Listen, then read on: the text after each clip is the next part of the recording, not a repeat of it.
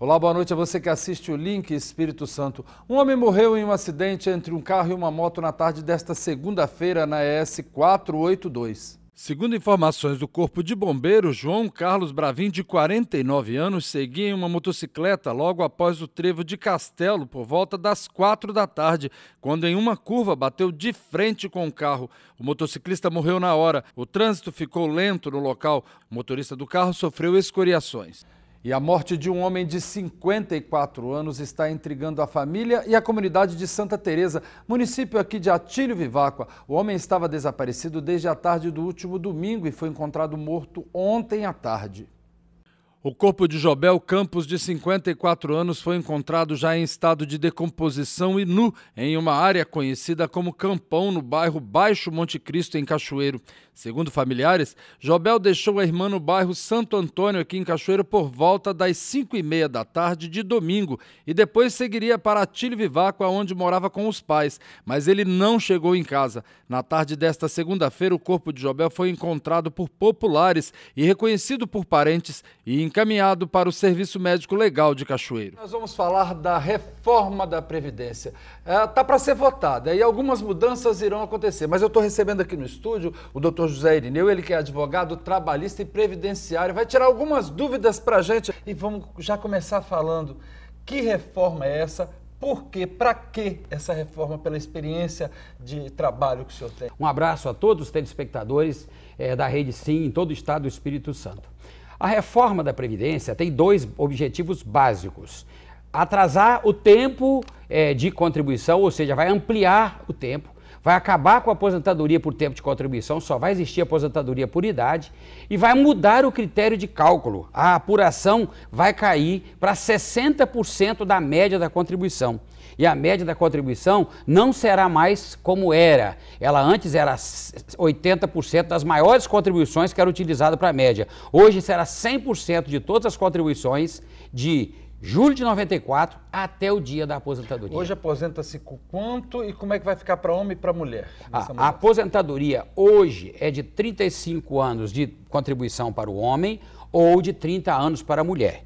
A aposentadoria por idade, ela é de 65 anos para o homem e 60 anos para a mulher. Só que para aposentar por idade tem que ter um mínimo de 180 contribuições ou 15 anos de contribuições pagas ao INSS. Bom, a gente fala de reforma, a gente sabe que são muitas as mudanças, a gente não tem nem o tempo para poder comentar sobre todas. A gente pode comentar sobre algumas, por exemplo, por tempo de contribuição, o que, que muda? Aposentadoria por tempo de contribuição vai acabar com a reforma, não vai existir mais. Só vai existir aposentadoria por idade. Homens aposentarão com 65 anos e 20 anos de contribuição comprovados e mulheres aposentarão com 62 anos e também 25 anos de contribuição. Essa é a regra que vai passar a vigorar a partir da reforma previdenciária. Para o trabalhador rural, o que, que muda? O trabalhador rural, a previsão da reforma é ampliar homem para 65 anos e mulher para 60 anos. É, esse é o objetivo. Qual a grande mudança que vai acontecer? Porque hoje o trabalhador rural aposenta homem com 60 e mulher com 65. Até mesmo aquele que bem pequeno produtor? É Qualquer é produtor, olha bem, porque o trabalhador rural não é só aquele que trabalha de empregado. Porque aquele que trabalha de empregado, que tem a carteira assinada, a situação dele é igual à do trabalhador comum. Normal. Agora, o pequeno produtor que vive em regime de agricultura familiar, aquele que é parceiro otorgado ou meieiro, como as pessoas costumam dizer, ou então aquele que arrendou um pedacinho de terra, o pescador é, é, artesanal, esses uhum. aposentam hoje com 55 se mulher e 60 como homem, uhum. sem contribuição, na verdade. Ele não paga mensalmente. São obrigados a contribuir normalmente como qualquer outro não, trabalhador. Eles, esses não, não, esses não contribuem hoje. hoje a contribuição reforma. deles é com a venda do produto. Com a reforma, eles vão ter que contribuir no mínimo com 600 reais por ano. Se ele tem duas formas de recolher. Com a venda do produto, ele vai pagar um percentual que será fixado por lei ordinária. Uhum. E se essa venda durante o ano não der 600 reais de contribuição, ele vai ter que contribuir com a diferença. Senão, não consegue aposentar mais como trabalhador rural. Quem está no mercado de trabalho, como é que fica hoje? Afeta também? Como é que é?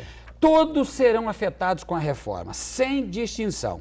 Inclusive, uma das verdades que, a, que, o governo vem dizendo, que o político vai ser igualado, pelo menos no projeto inicial, está lá que ele também vai estar sujeito ao regime geral de previdência. Isso já é uma vantagem, isso poderia mudar. Uhum. Agora, com relação aos trabalhadores que estão no mercado de trabalho hoje, a gente tem que deixar muito claro que vai haver uma mudança radical. E essa o governo não tem dito na, nas suas propagandas. Uhum. Qual é a mudança? A mudança no critério de apuração. Então passa a ser 100% todas as contribuições a partir de julho de 94. Isso porque no dia 1 de julho foi quando entrou em vigor a atual moeda do Brasil, que uhum. é o uhum. real. Então, desde que o real entrou em vigor, se faz a média de contribuição. E quem entrou depois de julho de 94 é a média do tempo inteiro, uhum. vai ser feito. Então, se a média der dois mil reais, ele vai aposentar com 60% da média. Então, se deu 2 mil, ele aposenta com 1.200 reais. E mais 2% sobre mais cada 12 meses depois de 20 anos. Então, se ele tiver 21 anos de contribuição, ele aposenta com 62. Se ele tiver 22, 64. Se tiver 23, 60, e assim por diante. Então, a cada ano aumenta mais 2% até o limite de 40 anos. Por isso que diz que só vai aposentar integral quem trabalhar 40 anos. Direito adquirido. Quem já tem o direito adquirido? Como é que fica? Rapidinho que nosso tempo está acabando. Direito adquirido é aquele que já conquistou hoje. Então, você que trabalha hoje, você trabalhador que hoje ainda trabalha e já completou 35 anos de contribuição, já adquiriu o direito a se aposentar. Então você não precisa de correr agora, você pode correr para aposentar, mas se for negado o seu direito pelo INSS, como vem sendo feito, você ainda pode ir para a justiça, porque a, a reforma não vai te pegar. Aposentadoria especial é aquela que tra quem trabalha com agente nocivo, exposto a, a, poeira, ruído, graxas, óleo lubrificante, que teria direito a se aposentar com 25 anos de contribuição, que é uma, uma, não é um presente que a legislação dava, mas uma forma do trabalhador não ficar doente antes de aposentar, essa também vai acabar. A previsão é que seja extinta, vai ser só por idade também. Agora, você completou 25 anos, pode contar que você vai conseguir adquirir o direito, mesmo que o INSS negue. Você pode ir para a justiça e vai conseguir garantir a sua aposentadoria especial. Bom, é uma pena que o nosso tempo é muito curto, tem tanta coisa para se falar, mas eu vou trazer novamente o doutor aqui para tirar as dúvidas. tenho certeza que os telespectadores têm muitas dúvidas sobre esse assunto. Recebi aqui o doutor José Irineu de Oliveira, ele que é advogado, trabalhista e previdenciário. Queria agradecer a presença do senhor aqui no Link Espírito muito Santo. Muito obrigado e estamos à disposição. É só marcar que teremos o prazer em retornar para poder atender os anseios dos seus telespectadores. Pois é, e de Cachoeiro de Itapimirim nós voltamos à vitória.